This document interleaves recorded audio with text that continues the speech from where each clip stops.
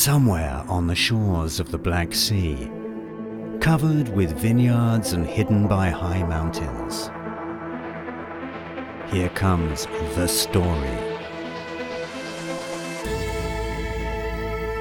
Where old legends are still alive.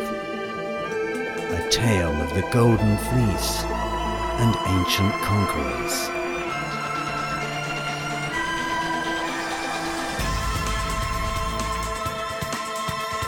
A shocking report of great tragedies and faithful, friendly animals.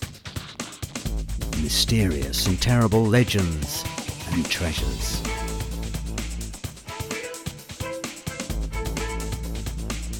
An epic novel of cave towns and beautiful castles. Here comes the story of Crimea. One of the most discussed places in the world. Coming to the screen soon. The Peninsula of Paradise. Like you've never seen it before.